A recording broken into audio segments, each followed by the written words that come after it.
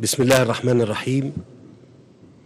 أخي فخامة الرئيس عبد المجيد تبون رئيس الجمهورية الجزائرية الديمقراطية الشعبية الشقيقة.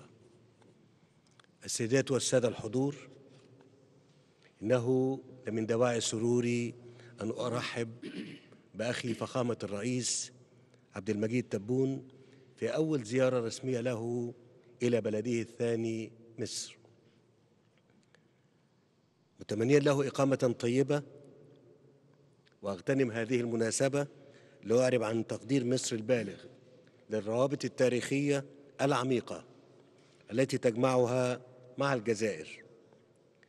في ظل علاقات الأخوة بين الشعبين الشقيقين ووحدة مسيرهما وأهدافهما المشتركة.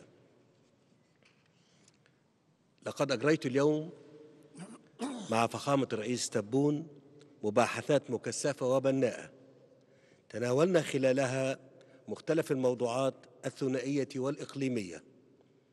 والدولية ذات الاهتمام المتبادل بين البلدين. وقد عكست المشاورات إرادتنا السياسية المشتركة نحو تعزيز العلاقات المتميزة بين البلدين والارتقاء بها في مختلف المجالات إلى آفاق أرحب. وذلك من خلال تفعيل أطر التعاون وآليات التشاور والتنسيق على كافة المستويات. أخذا في الاعتبار التحديات المشتركة التي تواجه مصر والجزائر ومنها تحقيق التنمية الشاملة ومواجهة التدخلات الخارجية في المنطقة ومكافحة الإرهاب والفكر المتطرف وصون مفهوم الدولة ودور مؤسساتها الوطنية.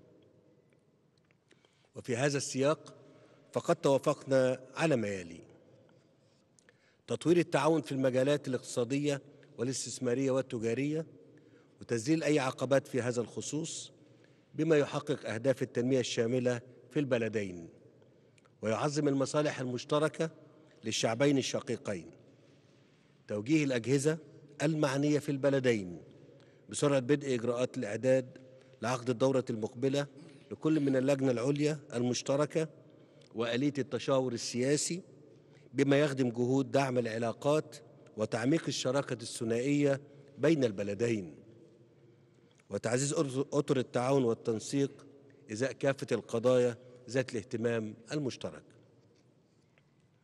استمرار التعاون المكثف في مجال مكافحة الإرهاب بكافة أشكاله وصوره وضرورة تبني المجتمع الدولي لمقاربة شاملة للتصدي للإرهاب بمفهومه الشامل ومختلف أبعاده.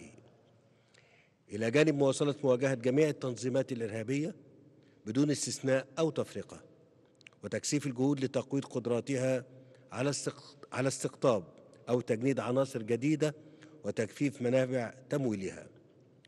وقد ثمنت في هذا السياق جهود الجزائر في مكافحة الإرهاب في منطقة الساحل والصحراء في ظل التحديات بتلك المنطقة. على جانب آخر تناولنا آخر المستجدات المطروحة على الساحة العربية حيث توافقنا في الرؤى على أهمية دفع آليات العمل العربي المشترك بما يهدف إلى صون الأمن القومي العربي وحماية وحدة وسيادة مقدرات الدول العربية.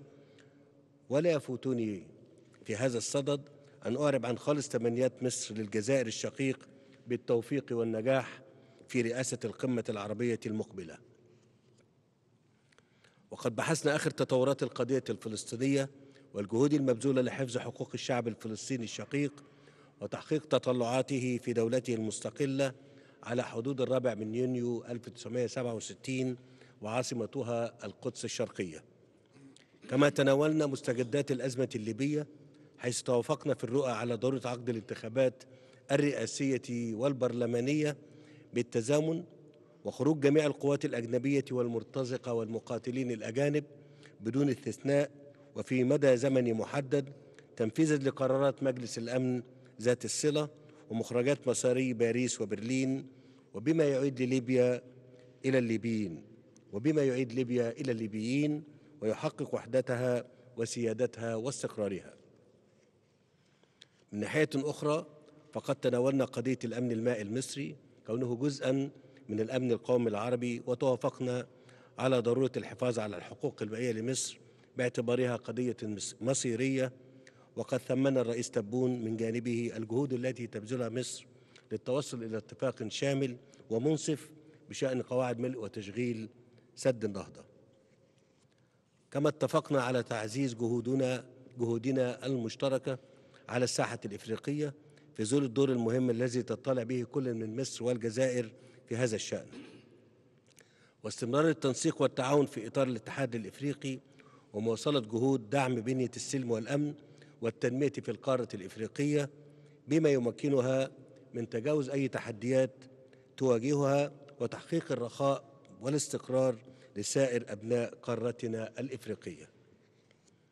أخي فخامة الرئيس عبد المجيد تبون لقد أسعدني لقاءكم اليوم وأنني لا أتطلع إلى المزيد من التعاون الوثيق بين بلدينا بما يحقق مصالح شعبينا الشقيقين ويلبي تطلعاتها متمنيا للجزائر الشقيق. كل الخير والاستقرار والرفاهية تحت قيادتكم الحكيمة وأجدد ترحيبي بكم في بلدكم الثاني مصر. رحب بك فخامة الرئيس. تفضل.